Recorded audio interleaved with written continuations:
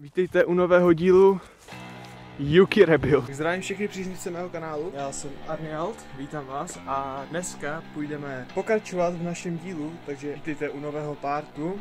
Už ne Apollo Rebuild, to vám povím potom proč, ale jdeme to projet, protože já jsem to dal trošku dokupy. Jezdí to sice na svítič, ale jezdí to dobře, takže bereme foťák a jdeme, protože nemůžeme otálet víc. Helmu a jdem na to.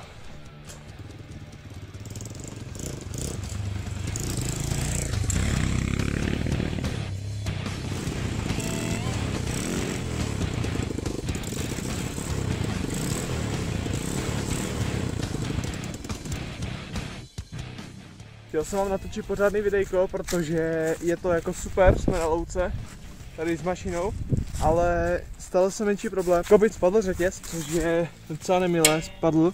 A jezdí to na půl plynu. Nechápu, smězla nastavenou, nebo nastavoval jsem ji na všechno, co jsem mohl. Furt to chcípá, zkusím dát pryč airbox, aby tam šlo víc vzduchu, nevím, je to nějaký divný a musím to ještě poladit, protože prostě nevím, chci se projet a nemůžu, jako můžu, ale tak na půl plynu, to je docela na hovno. Spadl mi řetěz, to jsem zůstal tady na místě a nedastartuju to bez roztačení, což na téhle mokrý louce super, takže to musím otlačit až domů. Ah, vytáhl jsem foťák, abych vám udělal lepší záběry, je to třeba.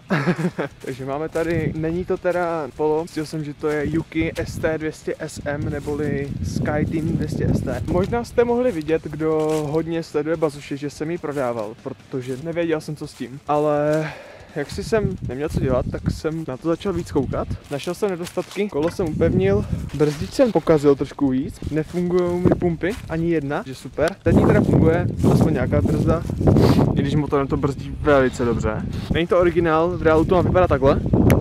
Teďka na tom jsou plasty z KTM nějaký. Chybí tady levej, ten mám doma, protože mi odpadl plech, který to zdržel. Zadní pas mám taky jeden z KTM ale ten tam taky nepřipevním. A jinak je to asi jako origo. Nádrž stejná, rám, všechno, motor taky. Měl jsem zde dvě padína, je to 2 kg. Jako táhne to, má to koně, neříkám nic.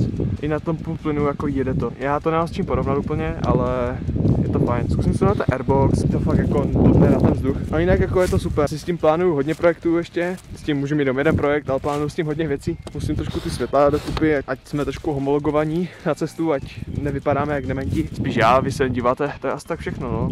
Řetě jsem nasadil a jdu to zkusím nastartovat ručně. Nakopávačka mi kope zpátky, bolí to, když kopnu, jak se protočí starter, to třeba vůbec nechápu proč. Jako, nevím, asi si koupím baterku na point starter, protože mě to nakopávání fakt nebaví a tlačit to pokaží s ním na cestu, roztlačit to, nevím, je to takový oprus docela.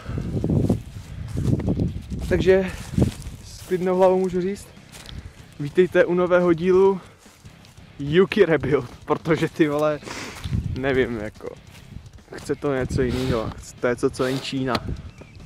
Tak zatím papa. Tak jsem se posunul 20 metrů a to spadlo.